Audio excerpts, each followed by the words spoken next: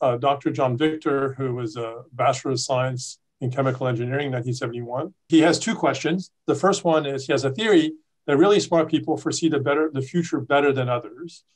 And so we can ask, what did you think about that? And then his second question is, did you ever make a bad business decision? Well, the answer is the second one is, of course, I've made bad, bad business decisions. You can't live a successful life without taking some, doing some difficult things that go wrong. That's just the nature of the game. And you wouldn't be sufficiently courageous if you tried to avoid every single reverse. And what was the first question?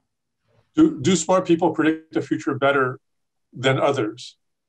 Well, that is a very interesting question.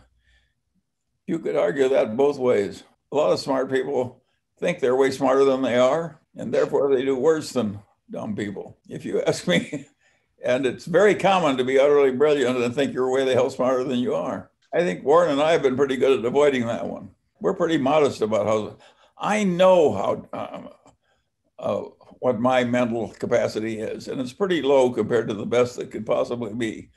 When I was at Caltech, I took this course in thermodynamics from Homer Joe Stewart. And one thing I learned, by the way, a lovely human being and gifted beyond compare. And one thing I learned was that no matter how hard I would try, I could never be as good at thermodynamics as Homer Joe Stewart. And I think that is a very useful lesson. I knew what I could do and I couldn't. And I never even considered trying to compete with the Homer Joe Stewarts of the world in thermodynamics.